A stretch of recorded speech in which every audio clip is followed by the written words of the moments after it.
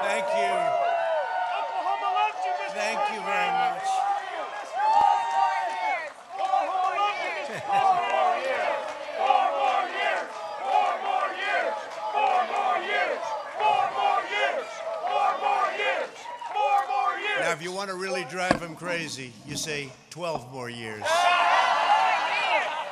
more years. Because we caught them doing some really bad things in 2016. Let's see what happens. We caught them doing some really bad things. We have to be very careful because they're trying it again with this whole 80 million mail in ballots that they're working on, uh, sending them out to people that didn't ask for them. They didn't ask, they just get them. And it's not fair and it's not right and it's not going to be possible to tabulate, in my opinion. It's just my opinion. We have to be very, very careful. And you have to watch, every one of you, you have to watch. Because bad things happened last time with the spying on our campaign, and that goes to Biden and that goes to Obama. And we have to be very, very careful. We Have to be very, very careful. And this time they're trying to do it with the whole post office scam. They'll blame it on the post office. You could see them setting it up. Be very careful and watch it very carefully because we have to win. This is the most important election in the history of our country.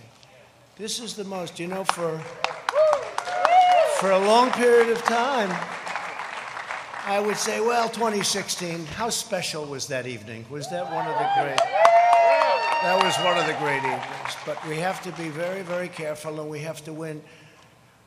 Our country is counting on it. This is the biggest. This is it. Our country can go in a horrible, horrible direction or in an even greater direction. And before the plague came in from China, that's where we were going. We were going in a direction like we had never seen the most successful economy in the history of our country, the best unemployment numbers in history for African American, Asian American, Hispanic American, women, college students, bad students, good students, everybody.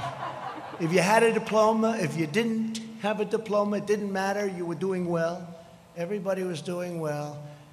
And we were actually coming together. You know, success brings people together, maybe better than anything else. Success brings people. So many times they say, we're divided. Well, we were very divided under President Obama, very divided. People have no idea how divided.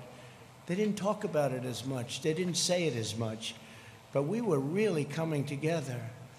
And I was speaking with Democrats all of a sudden because the success, the markets were at an all time high. And by the way, take a look at what's happening with the markets. Take a look at your 401ks, which you probably do every hour. Take a look at your stocks. We're very close to breaking the record, and NASDAQ has already done it. You know, NASDAQ has broken the record, I think, 16 times already during a pandemic. Hopefully, we'll call it the final phase of a pandemic. You know, Biden the other day said, no, he'd shut it down. He'd listen to some guy say, and he'd shut it down. Uh, we just broke a record on jobs, an all time record.